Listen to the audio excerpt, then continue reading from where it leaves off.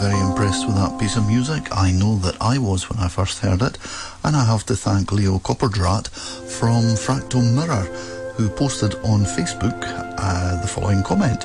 If you like the sounds of Steve Hackett, Anthony Phillips, the romantic stuff of the Enid, or the atmosphere generated by Camel, you might want to check out The Couch by Peter Swart, especially the six part suite, Werther which we just heard there, and I think it is a majestic piece of work.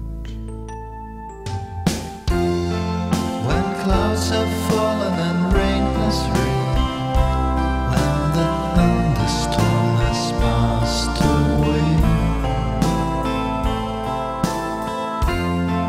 when the old has proven you. Uh, I found it a little bit more about uh, Peter Swart.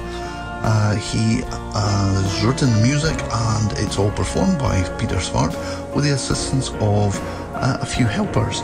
Uh, Ron Breve on drums, Marlies de Vries on flute, Anna Windig on lyrics. There are a couple of sets of lyrics on this particular album. Harry de Vries for artwork and Fritz van Murik, the engineer, uh, Studio Hetband, Vlaardin from Holland. Uh, so I apologise if my accent is not particularly great, but uh, the album itself is simply terrific.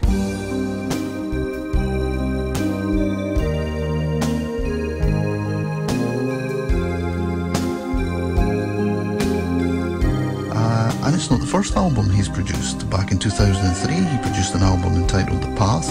2006 was followed by an album called Shades.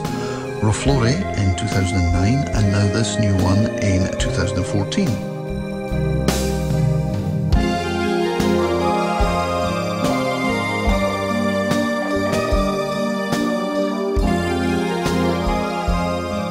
Little bit about it that you find, uh, there's not an awful lot of information, I must admit.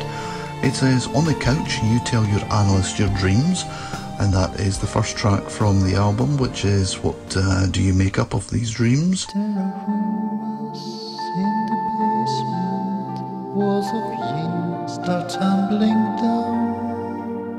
Uh, then there is a new rest after a battle of any kind, and that's linked to the track Dust on.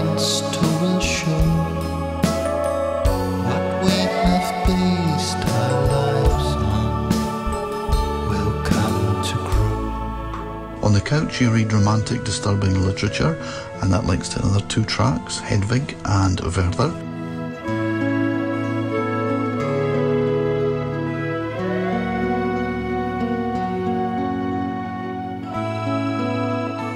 and you meditate and uh, that is the track linked to Buddha.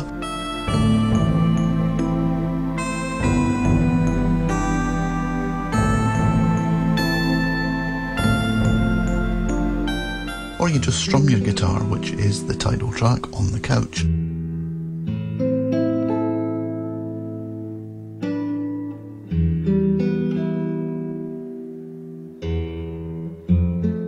Uh, so excellent material and in fact, he is in his everyday life.